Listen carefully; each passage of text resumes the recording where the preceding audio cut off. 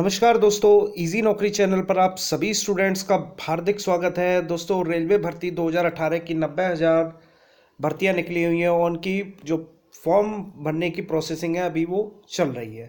इकतीस मार्च last date है, लेकिन उससे पहले कल 11 मार्च को रेलवे मंत्री ने ट्वीट कर कर बताया कि किन शहरों में एग्जामिनेशन सेंटर होंगे और क्या हम सवाल पूछ रहे हैं, क्या विद्यार्थी इन एग्जामिनेशन सेंटर को चुन सकते हैं?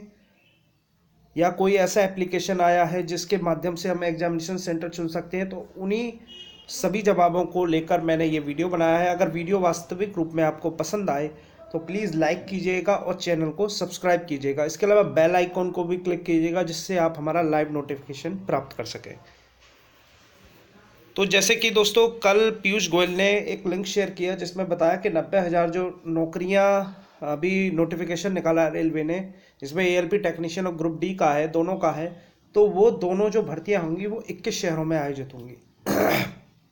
अब बहुत सारे स्टूडेंट्स सवाल ये करते हैं कि मैंने जैसे अहमदाबाद से जोन से फॉर्म भरा है तो क्या मेरा जो और रहने वाला मैं हरियाणा का हूँ तो क्या मेरा जो सेंटर है वो मेरा हरियाणा में पड़ेगा या अहमदाबाद में पड़ेगा। तो दोस्तों, आपने जिस जोन से फॉर्म भरा है, उसी जोन में आपका फॉर्म फिल होगा। अब मैं रहने वाला इलाहाबाद का और भर रहा हूँ मैं कोलकाता जोन से तो आपका जो सेंटर पड़ेगा वो कोलकाता जोन में पड़ेगा।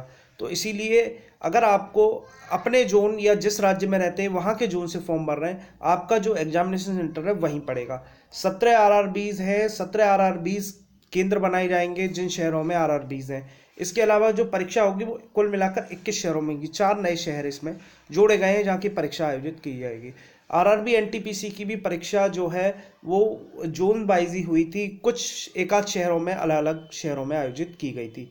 इसके अलावा दोस्तों, जो आपका एडमिट कार्ड आएगा, दो एडमिट कार्ड आएँगे। एक में पंद्रह दिन पहले एडमिट कार्ड आएगा, एक तीन दिन पहले एडमिट कार्ड आएगा। पंद्रह दिन पहले वाला जो एडमिट कार्ड होगा, उसमें आपकी जो शहर बताएगा ताकि आप अपना रिजर्वेशन वगैरह या वहाँ जाने की व्यवस्था कर सकें। तीन तीन दिन पहले जो एडमिट कार्ड आएगा, उसमें आपका सेंट्रल का नाम होगा। क्योंकि रेलवे में इस तरह की कोशिश रहती है कि फर्जी तरीके से नौकरी प्राप्त करना। लेकिन अब ये सारी चीज़ें रेलवे के द्वारा बिल्कुल व्यवस्थित रूप से ख़त्म कर दी गई हैं।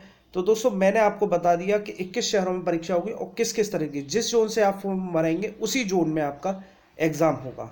ये निश्चित है, ठीक है? और उसी शहर में भी निश्चित ही आयोजित किएगा, क्योंकि रेलवे मंत्री ने स्पष्ट कर दिया है कि किसी अन्य शहर में अहमदाबाद है तो इसका ये नहीं है कि आपका गांधीनगर में हो जाए या गुजरात के अन्य शहरों में इसका एग्ज़ाम हो जाए। आपका जो एग्ज़ाम होगा, वो अहमदाबाद शहर में ही ऑनलाइन रूप से आयोजित होगा।